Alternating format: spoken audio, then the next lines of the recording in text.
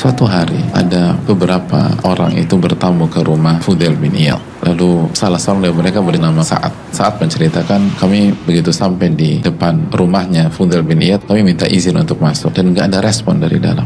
Akhirnya nunggu gitu loh, kok nggak dibukain. Lalu ada yang mau beritahu, percuma kalian tunggu. Beliau nggak akan keluar kecuali beliau mendengar bacaan Al-Quranul Karim kebetulan di antara kami itu ada muadzin yang suaranya bagus banget. Lalu kami perintahkan orang ini untuk membaca Al-Quran. Diminta baca At-Takathur, lalu sang muadzin ini baca At-Takathur dan beliau keraskan suaranya dan merdu sekali. Gak berapa lama Fudel keluar dalam kondisi menangis dan janggutnya basah dengan air mata dan beliau sambil memegang kain dan menyeka air mata beliau.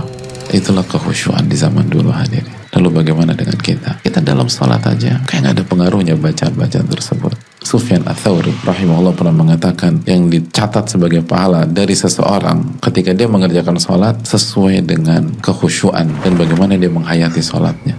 Kalau kehusuannya 30% ya 30%, kehusuannya 20% 20%, kehusuannya 10% 10%. Nggak khusyuk, bisa jadi nggak ada pahala.